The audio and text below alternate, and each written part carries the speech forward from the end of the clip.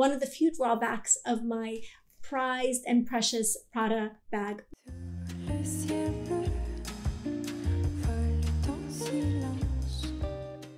Welcome to my channel. I'm Nada Manley. If you are new here, I help women just like you, women over 40, achieve confidence in their style and start having fun with fashion. If you've never had fun with fashion before, stick around because we're going to have lots of fun on this channel.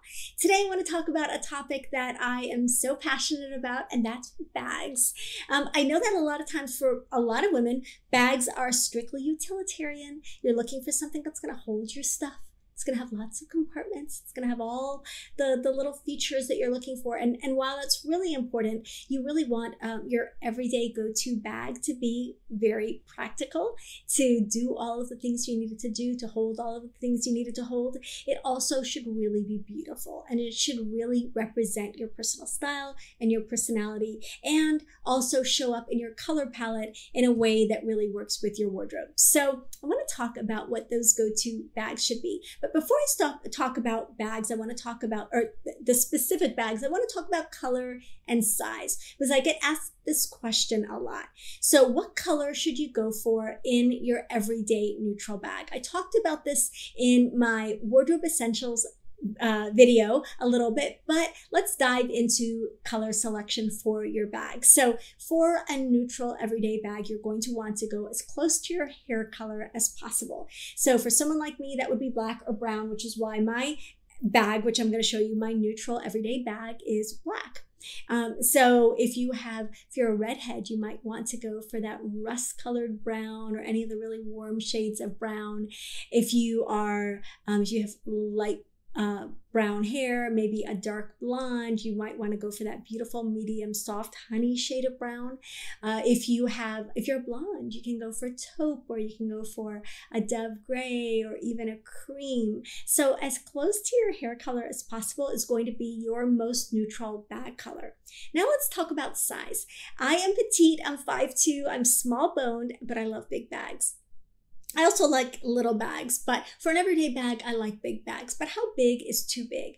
So you really want to try a bag on and see how it feels on your body. You also want ideally to see yourself in pictures with the bag. That's going to be one of the ways that you're going to be able to tell if a bag is just over too oversized for you. So my go-to bag, which I'm going to talk about in a minute, um, you've seen this in other videos. I talk about it all the time. Is this Prada Gaufre tote. So I can wear this bag over my shoulder like this, and I can wear it over my, I, I just love its versatility. I can wear it like this. I carry it like this a lot. Um, this bag is big. It's, um, and I'll, I'll take the measurements and post them below, but you can see in relation to my body that it is a larger size bag. This is the largest that I will go to, go for with it for an everyday bag for a, a purse that's not a tote. And granted, this is a tote as well, but this is essentially a purse. So I really want to go no bigger than this. Um, so you want to just try it on and see what it looks like for you. I'm going to share some specific measurements below, but what you want to do is pull a bag from your wardrobe if you already have one that you feel is a good size for your body. And I want you to take those measurements and I want you to keep them in a size chart that you keep on your phone. Because when you're looking at a bag online and you're about to grab that bag, um, maybe it's on the RealReal and it's a designer bag you've always wanted and you're you're thinking about investing in it, but you're just not sure of the size, you have those go-to measurements that you can use and you can say, huh, I know that that that bag size and shape is going to be a good size and shape for me. So let's talk about shape. Um, you you are going to either look at structured bags or you're going to look at slouchy bags. Those are the two primary categories. In general, I'm a structured bag person. This is really a matter of personal style. This one is a little bit more slouchy than most of my bags, but you're going to want to keep in mind that a slouchier bag is going to have a little bit more give, probably a little bit more versatility because you can stuff it a little bit more without it looking over overstuffed. Um, a structured bag is going to look a little bit dressier, a little bit maybe a little bit more polished, a little bit more classic. So depending on your style personality, you can choose structured or you can use you can choose slouchy. So going back to sizes for a little uh, for a minute, an everyday bag should be big enough to comfortably hold your everyday essentials and no bigger. You don't want luggage when you're running around town. You don't want something so big that you don't want to reach for it because it's really, really heavy. One of the few drawbacks of my prized and precious Prada bag. Look at all those, those a lot of peas. Um, is that it's it's a little heavy even when it's empty. So that that said, I still love it. I still carry it. I still cram it full of stuff, especially when I'm traveling. Can't wait to travel again. But I this bag is like like I said in other videos, it's like Mary Poppins carpet bag. You can just keep putting stuff in it and it never is full. So I love that. So I will share some specific measurements in the description box for choosing a bag for your height and for your frame. You don't want it to overpower you. You want it to to suit you right? Okay, so let's get into the fun stuff now that we talked about. Oh, one last detail investing in a bag you know, I think that a bag should be a place where a, a, good chunk of your wardrobe budget goes. If you buy a really, really nice bag, you don't have to buy it new and it does not have to be designer. It can be um, just a really well made leather bag from um, an, a, a brand that doesn't mark their bags with their, with their logo. That's a very, very elegant route to take and i'll share some of my favorites in my um, in the description box including a catalog where i've shared a lot of really great brands at different price points. But what you want to look for is quality. And so you want a really, really nice quality bag for your everyday bag because that's going to be something you're just going to continue to wear for years and years, and you're going to get a lot of value out of it. Like I said, my cost per use for my Prada right now is like a penny because I've worn it so, so much. But again, wherever that luxury investment bag price point is for you, just look for a really good quality bag and you will have it for years to come. Okay, finally we can talk about the fun stuff and I can show you the bags. So there are eight different bag styles here that I think every woman should have in a well-rounded bag wardrobe. Who knew you needed a bag wardrobe until now, right? You might not need all of these, but these are the ones that I recommend. The first we've already talked about. It's the neutral, dark, everyday bag. And um, the reason I say dark is because it doesn't show stuff, right? This is this is an everyday handbag that you carry day in and day out. You can wear it with pretty much anything. It becomes your go-to. becomes like an extension of your arm. You carry it so much. People knew me by this bag for years and they still do. It's one that I use all the time. So you want that neutral everyday bag. Um, okay, the next bag that you want is an evening bag. So these are gonna start falling. Okay, this is um, a, an evening bag. I love this bag because I just love the color. I love the ruffle detail. Um, for most people, you're going to want, and I have those too, a dark neutral evening bag, and or maybe a light neutral evening bag. Another very uh, neutral evening bag, of course, is a metallic. So that's probably going to be your best bet. If you're just going to buy one evening bag, buy a metallic evening bag and your go-to metal gold or silver, and that will go with everything you wear in the evening. Um, then you can add a dark neutral if you like. You can add a color if you like, but an evening bag, um, one that you can wear that will make you feel special for a night out with your husband is going to be such a, a great um, essential to have. If um, you wear your big bulky everyday bag with an evening look. Sometimes you can just kind of pull the whole look down, right? So an evening bag, such a classic and feminine thing to own. Okay, next bag I want to talk about is a crossbody. This fun and colorful one is from Ted Baker. I just love it. I love the color, love that poppy red color. As you can see, it's my color. And um, I love where it hits. It's comfortable. With a crossbody, I do not like personal preference. I don't like the crossbodies that have the big handles at the top. I just kind of feel like they don't look like a crossbody. feel like a crossbody should be streamlined. You want the strap to ideally be delicate in the part where it intersects with your body. You don't want like it to really push against you so that it looks awkward with your clothing.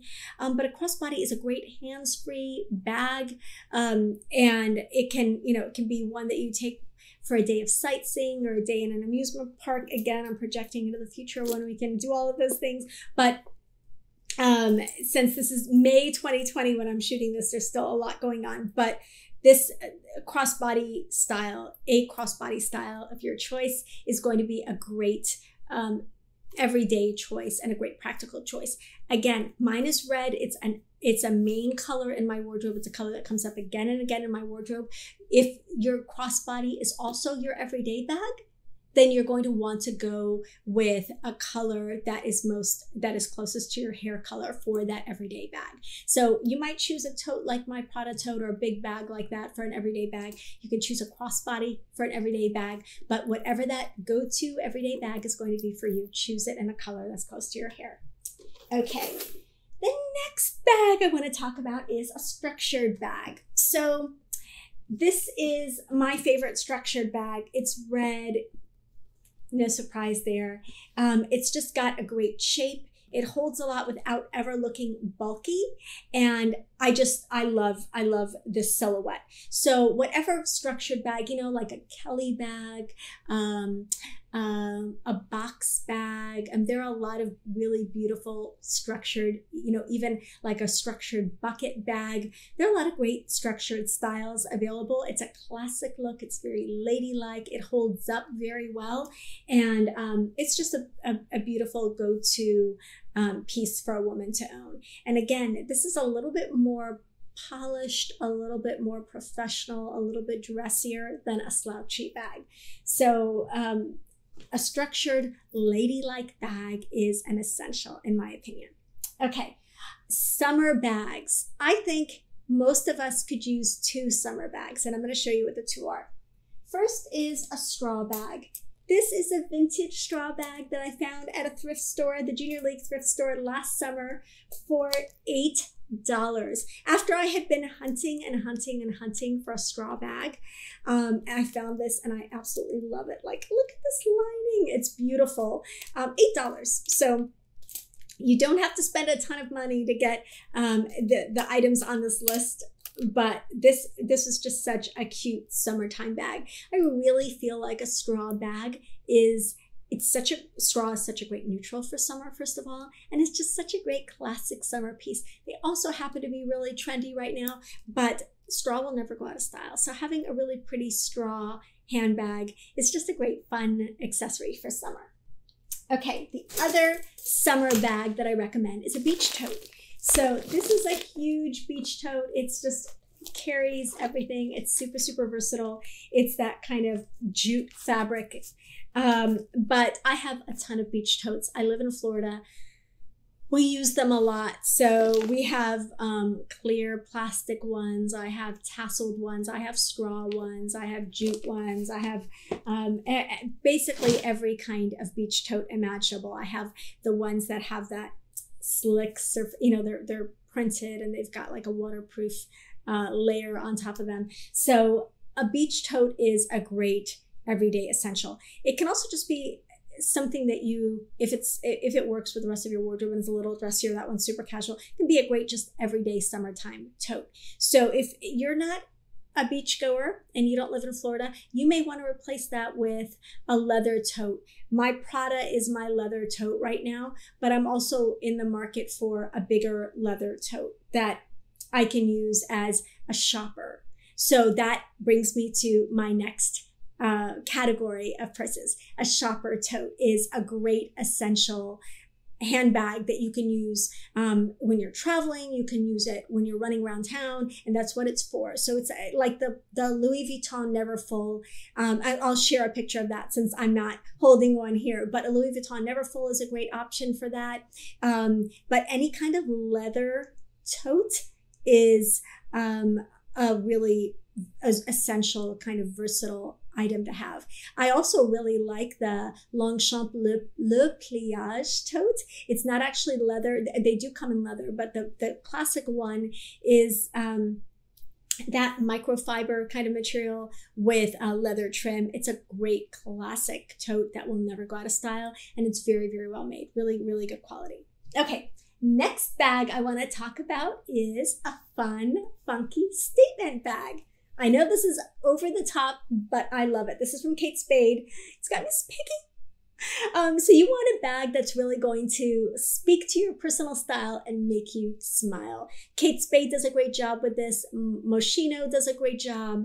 Um, there, Lulu Guinness, there are a lot of brands, Anya Hindmarch, that do really fun, funky shaped bags, statement bags. You can have a lemon, you can have a pineapple, you can have, if you want a whimsical, quirky, fun um, conversation piece, that you can wear with an otherwise simple outfit, grabbing one of these bags is sure to start a conversation. Um, again, this may be totally not for you, but there is a statement bag, a fun bag, a quirky bag out there that can speak to your personality and really just add a little bit of interest to uh, a, a wardrobe of basic essentials that we've been talking about. So just a fun additional piece. Finally, I cannot end a conversation about bags without talking about a clutch. This is a gift from a friend. I just arrived. As you can see, it still got has the price tag on it. It's from Anthropologie. I love this bag. It's a beautiful clutch. Um, it's a great shape. I really like envelope clutches. I think that they are the most versatile. And this is sort of that same silhouette, that rectangular silhouette. Um, I like that it's got like a little handle. So it's a clutch, but with, with a handle. So you're not just holding the bag like this. Of course, I love the polka dots and yellow combination, but whatever go-to colors or styles that you gravitate towards, um, a clutch is a beautiful essential handbag for women. So this specific clutch works very well for day or evening, and that's one of the benefits of a clutch whereas you know some of the bigger bags are really more for day and some of the really tiny bags are for evening. This is a great transitional bag. Some clutches have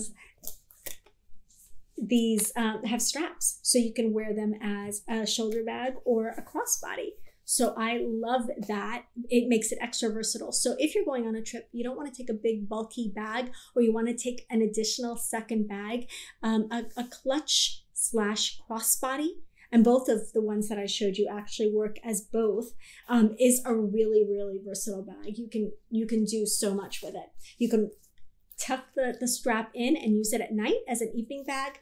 Um, and you can wear it during the day as your just go to running around bag. So I hope that was helpful. Those are the bags that I think every woman should own.